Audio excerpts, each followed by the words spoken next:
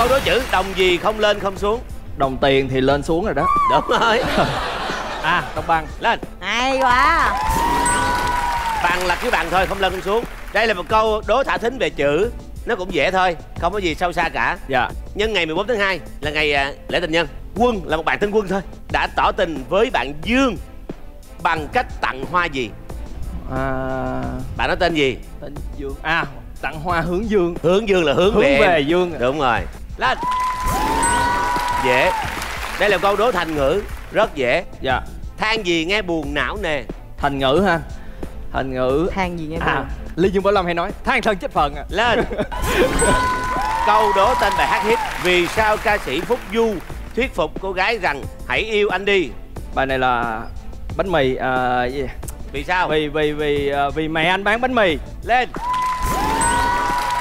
đâu con trai sao hai ba? Con trai bà bán bánh bánh bánh mì. Lo lo lo cho em. Lo lo lo lo lo gì? lo lo gì? Lo lo lo lo vé câu tiếp theo. Đây là câu đố chữ. Câu này dễ. Bình gì ở giữa? Bình gì ở giữa? Nói về giá trị thôi. Bình phương là nhân đôi. À, Đúng. à bình quân bình quân Lên, bình lên. quân đầu người. Đây là câu đố chữ tiếp theo. Bỏ gì khiến người khác tò mò? Dạ dạ. Bỏ gì khiến người khác tò mò? Tò mò tò mò? À bỏ ngỏ câu chuyện à lên. Hay à trời. Hay á. Viết khoan viết dữ à dữ. Sao sao sao? Hay á nha. Thông minh đó Vi nói với Tuấn nhìn anh như con ma ế nhưng tình cảm của Vi dành cho Tuấn là gì? Tự nhiên cái câu tự nhiên cái của ma ế là mê á đúng không anh? Lên. Quá dữ quá dữ. Câu tiếp theo là đố chữ luôn. Bạc gì không nhìn thấy rõ? Không nhìn thấy rõ hả anh? Bạc gì? Bạc ờ, ờ, bạc màu bạc màu. Lên lên. Đây là đố phiên âm. Hay quá trời. Câu này là câu uh, phiên âm tiếng anh mà chắc chắn là Chris Phan phải biết. Dạ dạ. Yeah.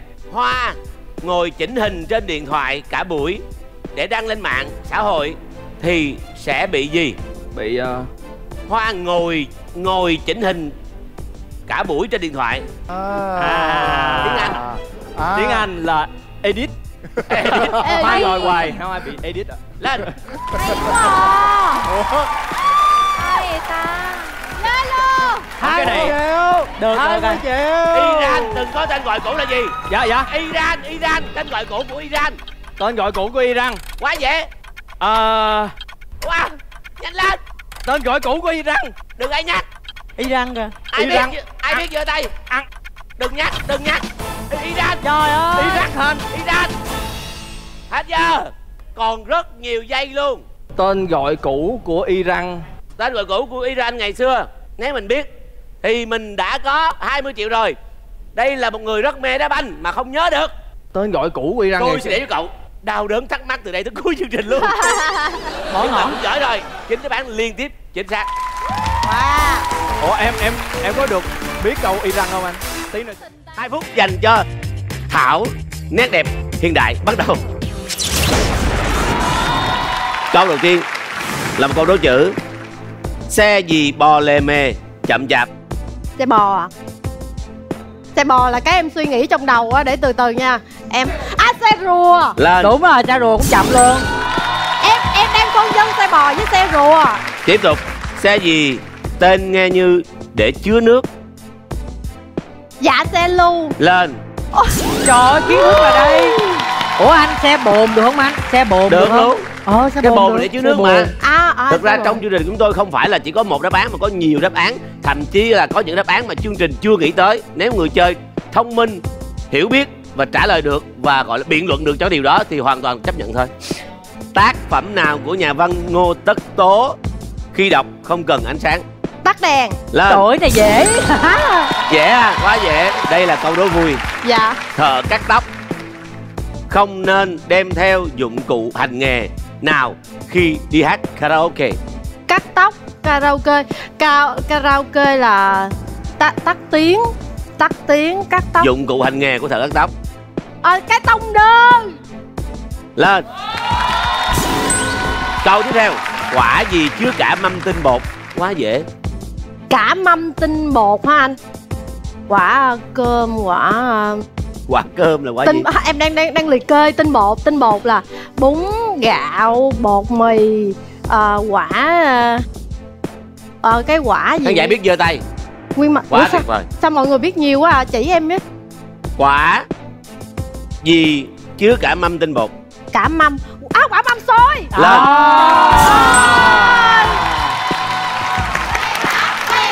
Nguyên Thảo Nguyên Thảo Nguyên Thảo. Sách gì không mua ở tiệm sách? Sách ờ, sách gì không mua ở tiệm sách? sách sai chính tả đúng không anh? Sách ờ, mà chữ ít đúng Anh cũng định mong hỏi gì đó. Sách đúng chính tả hả anh?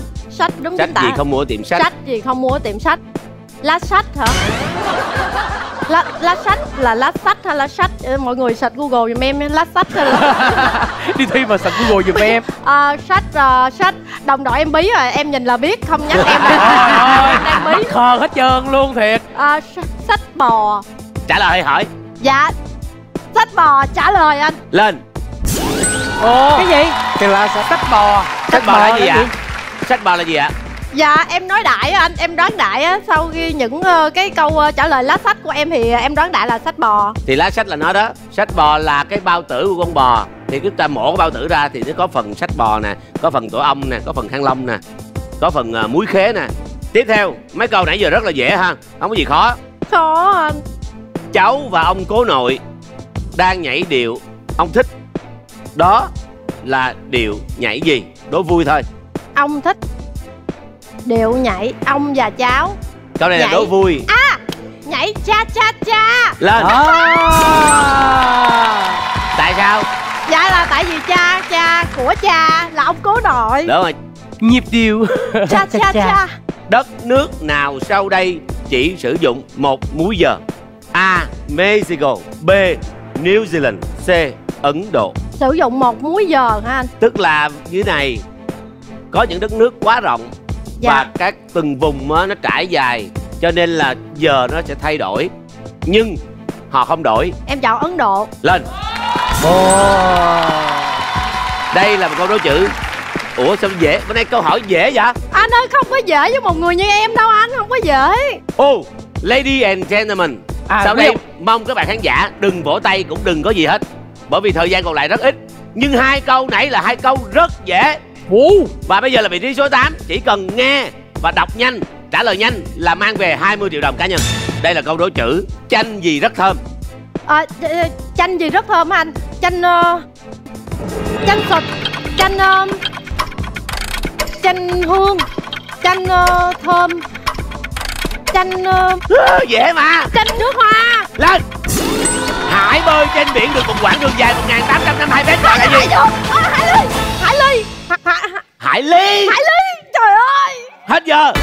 Trời Thôi ơi. nó chỉ có hai cái từ thôi hải lý hoặc hải ly thôi Chanh nước hoa là để dùng à, cho món trà chanh giả tay đó. À hàng chi nó quen quen.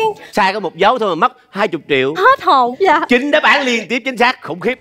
Chúng ta cùng đến với ST trong chương trình Nhanh như chớp. Câu số 1 Galileo là ai? À, là một à, người à, toán học. Lên. Nhà toán học vĩ đại. Ủa chứ anh nãy nói vật lý. Ông ấy là người rất giỏi về thiên văn học Về vật lý học Về toán học. À. Erika có nghĩa là tìm ra rồi Là câu nói nổi tiếng của nhà khoa học nào? À, Bậy bậy cái tao sai. Nhắc nhắc sai nữa. Archimedes Archimedes Lên. Trời ơi!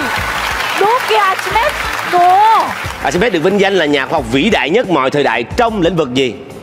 Toán học vật lý và Toán học lên. Wow Ủa, Ghê vậy tí Ủa xong luôn rồi hả? Trời ơi dữ vậy. Sông Nhị Hà là tên gọi khác Của con sông nổi tiếng nào ở phía bắc nước ta? Vậy thì em đoán sông lớn nhất. Thôi sông hồng. Lên. Wow. Lanh Ngọc em nói gì đi Tì ơi em tự hào về anh quá. Tự hào về anh quá.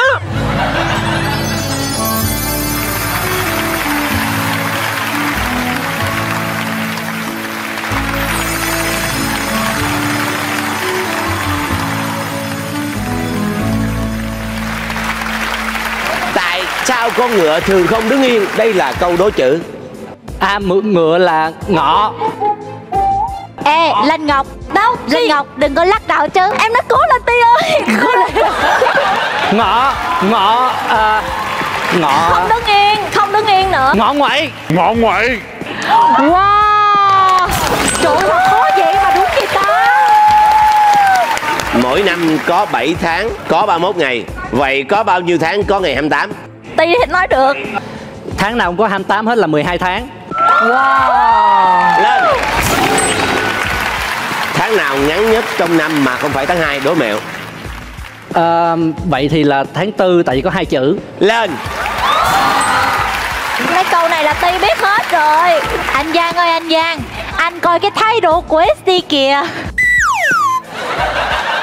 Không biết sao tại em run quá em hồi hộp Còn ba câu nữa thôi Ti ơi Loài vật nào sống dưới nước là động vật có vú?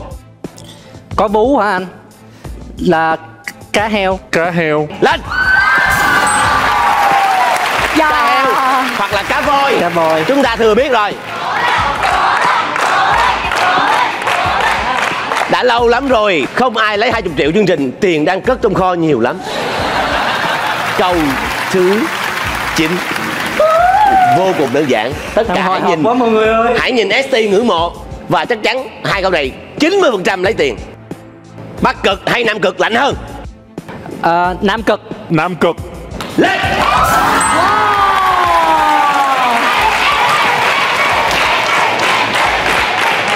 Trời ra, ơi trời Em ơi. biết câu này bởi vì Nam cực là còn là nơi khô nhất thế giới nữa. Bây giờ là câu cuối cùng. Câu này hồi nãy Quỳnh Hương trả lời chính xác. Mùa này đúng thiệt là mùa này khó hơn mùa trước Anh rất ơi, anh nhiều. ơi em hồi hộp quá anh ơi. Một trái mít thường có bao nhiêu hột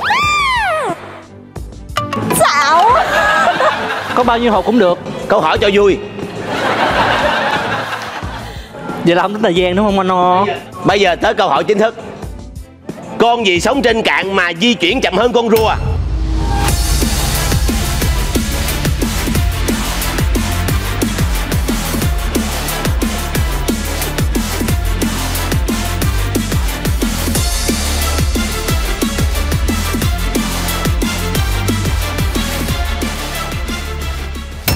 Con kiến. Con kiến. Không chính xác.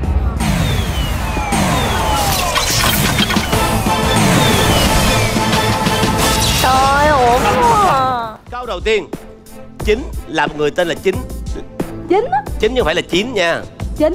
Chính chứ không phải là chín. Chín là số, còn chính là chính. Dạ dạ dạ. Chính đi làm bảo vệ ca đêm thì gọi là gì? Chính trật trật trật Lên Đúng là con bé 12 năm học giỏi. MC chưa kịp đọc xong câu hỏi nó đã trả lời rồi. Ôi thật là hãnh diện gia đình quá. Thôi Chính thích mặc đồ đẹp. Chính thích mặc đồ đẹp. Chính diện. Chính diện. Lên. Chị thích câu này bộ này hơn. Chính không xài đồ nhái gọi là gì? Ồ hoang mang liền hoang mang liền. Chính không xài đồ nhái. Không. Xài đồ nhái tức là xài đồ thiệt. Thì gọi là gì? Chính. Không. Chính. Thiệt chính. Chính hiểu Chính hiệu lên. Wow. Cái mặt cái mặt Ti ghét quá. À. Chúng ta nên nhớ một điều Khi chúng ta trả lời đơn giản Thì người kia cũng sẽ trả lời đúng, đơn giản. Dạ dạ dạ. Hiếu Một bạn tên là Hiếu. Hiểu không? Dạ ok. Hiểu không? Không bao giờ thua cuộc thì gọi là gì? Hiếu. Thắng thắng thắng. Lên yes. Tranh vẽ một hồ nước đóng băng thì gọi là gì? Tranh vẽ. Tranh. Là bức tranh đó hả anh? Và Vẽ một bồ hồ, hồ nước đóng, đóng băng, băng. Chắc Vậy biết rồi là- đó Một hồ nước đóng băng. Tranh uh, Phân tích đi ạ. Tranh vẽ một hồ Tranh nước. Đông hồ. Lên Hay quá. Trời ơi Tiếp tục là câu đố chữ. Thảo đang viết vào tờ đơn thì gọi là gì? Thảo đang viết vào tờ đơn Thì gọi là gì? Thảo gì anh? Câu này hồi nãy anh anh đọc xong anh chưa nhìn đáp án viết luôn á. Vậy hả? À. Thảo đang viết vào tờ đơn. Mình Thảo Điền Ây da! Ghê vậy?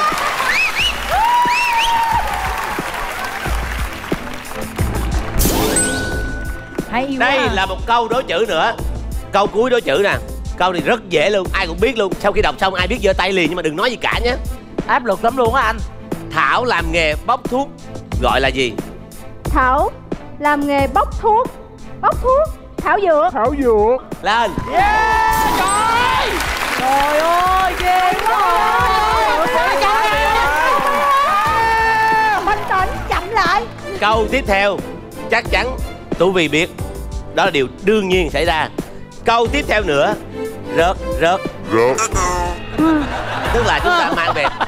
Tức là chúng ta mang về. Tám đáp án liên tiếp chính xác ủa biết trước các bạn không?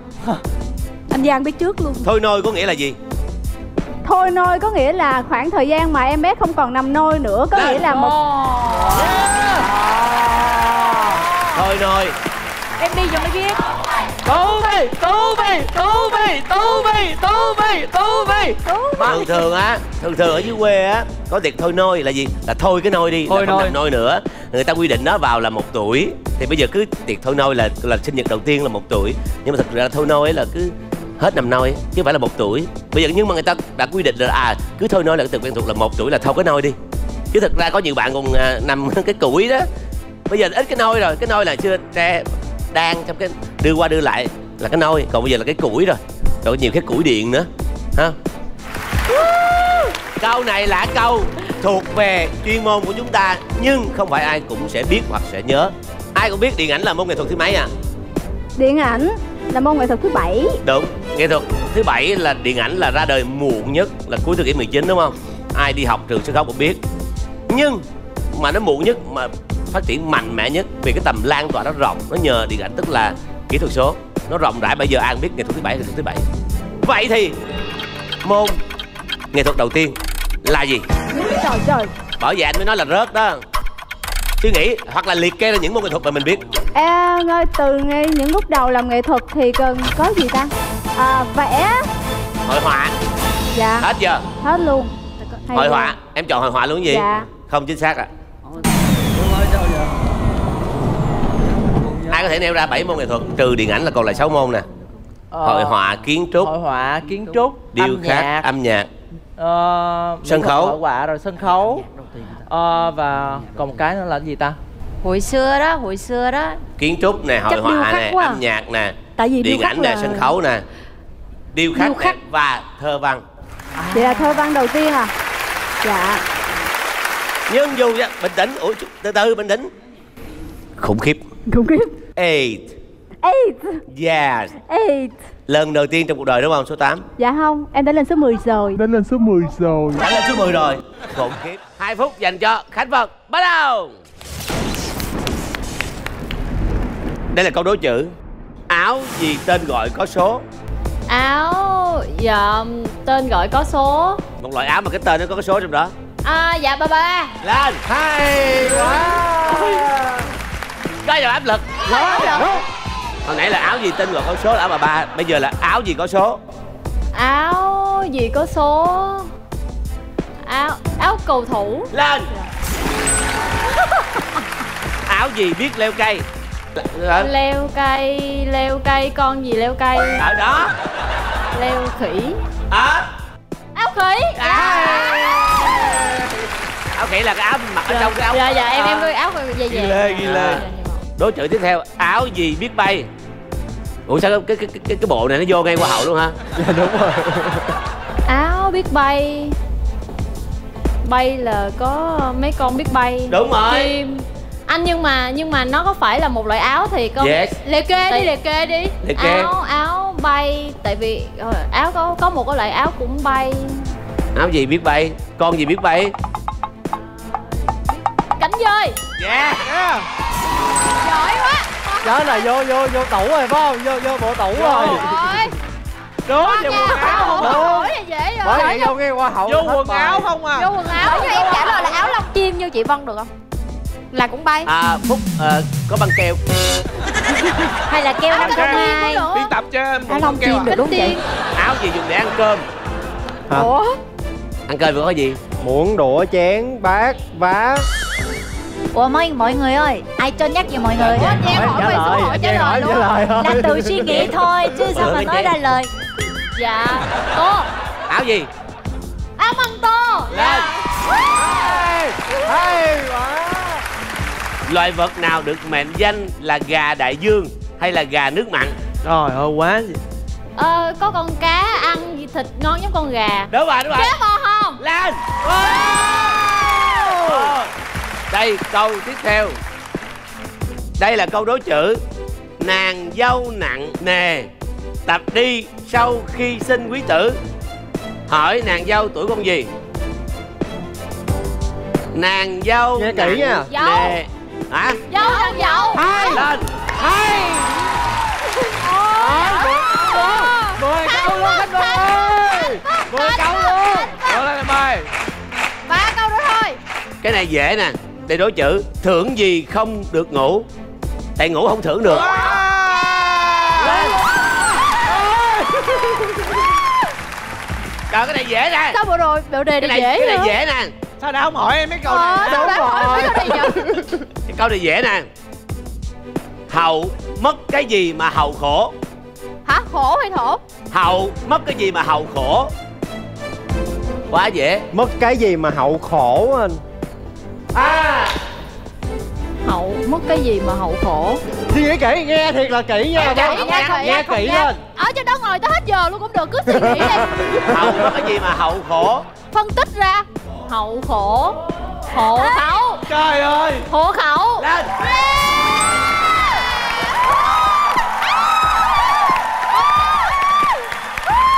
Im lặng im lặng im lặng im lặng, Im lặng.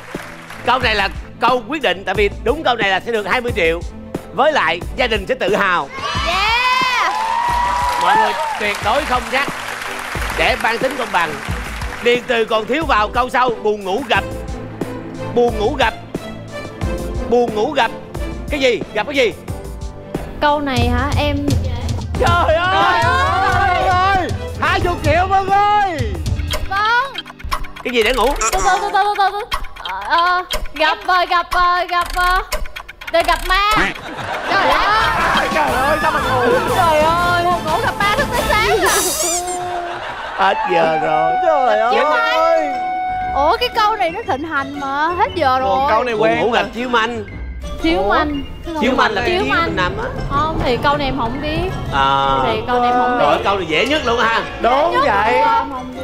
Buồn ngủ ba gặp ma. Trời ơi phải chìm câu tiếp theo. Lên cái đó là xuất sắc rồi Hồ nào biết hát, biết ca? Hồ nào biết hát biết ca hả chị? Ờ, hồ, hồ, hồ nào cũng được mà đúng không? Hồ, Hồi nãy tôi chợt câu này nè. Hồ, hồ Quỳnh Hương. Yeah. Hay vậy ta? Hay quá. Ôi em quê rồi em ơi. Ôi vậy luôn Em quê rồi. Chưa có quê, chưa có quê, để tôi nhiều lắm. Tôi trả lời được nhiều câu lắm. Câu thiệt luôn hả trai? rồi, rồi tiếp theo. Bây giờ anh hơn em 5 tuổi Vậy sau bao nhiêu năm nữa tuổi em bằng tuổi anh? Không, người anh sẽ phải luôn luôn hơn tuổi người ờ, người em. Thật là không bao giờ bằng tuổi Đúng nhau rồi, chính xác. Chính xác. Ôi, chưa quý vị, các bạn, chưa bạn Nó dễ Chưa bạn em Dạ đúng rồi. Nó quá dễ luôn Dạ. á. Chưa. Đây là lúc chúng ta nên hát những bài hát đại loại như là Rồi chia tay nhau đã Rồi đầu thét ban trong màn đêm. Trong các họ Việt Nam Họ nào chiếm tỷ lệ nhiều nhất? Họ Nguyễn. Chính xác. Yes Câu này có thể hơi khó. Ở châu Phi Chim cánh cụt sống ở nước nào? Ờ, thật ra là cái ờ, câu này nghe nó hơi vô lý nhưng mà em đã từng xem một cái chương trình khoa học rồi và em rất là nhớ cái này. Tức là ở châu Phi là cũng có chim cánh cụt. Nó sống ở một số hòn đảo ở nằm ở Nam Phi Nam Phi. Wow xác Wow Wow Quá giỏi. Hay quá. Chúng ta tiếp tục hát một bài hát đại loại như bài hồi nãy Cố dấu nước mắt lặng thầm nhìn nhau nghe nói lòng Biết nói chị đây một câu trước khi biệt ly. Không anh, nếu như mà là em có lỡ thua Anh em chưa biết mà em có lỡ thua đi Em vẫn tự hào. Tại vì sao bạn mình giỏi quá. Không nhưng mà trai cố tình nhường em á anh tại vì nãy ở phía Không, sau không, hậu không, trường là không có biết nói thiệt. rồi đúng không? Nói là Tôi phải không về biết chăm thiệt. con cho nên là ráng trả lời thua để về trước mà. Không dám đâu, tôi không biết thiệt. Tại vì thực sự là tôi rất dở. Ok ok. Thật sự là cho tụi em chúc mừng chị Miu cái được không? Miu, Miu cảm ơn Nhan Dũng Trời ơi là trời. Không, cảm động không? Cảm động chứ. An ủi tinh thần nhau, an ủi tinh thần. Rồi câu hỏi tiếp tục. Đỏ hoe là từ mô tả cái gì? Đỏ hoe. Ờ tay chân mắt mũi mũi đỏ hoe mặt đỏ hoe hay là cái gì cũng được mà. Đúng rồi chính xác. Dạ. Rồi, câu hỏi tiếp tục Sáng sớm Trường Giang lấy một chiếc cúc xanh Tung tăng đi chợ mua đồ ăn sáng cho Nhã Phương Hỏi Trường Giang mua món gì? từ từ nó lại gì đố chữ á. Sáng Sáng sớm. sớm Trường Giang lấy một chiếc cúc xanh. Lấy một chiếc cúp lái xanh. lái một chiếc cúp xanh. Lái một chiếc cúp xanh. Đi vào tung đoạn sáng hỏi mua món gì?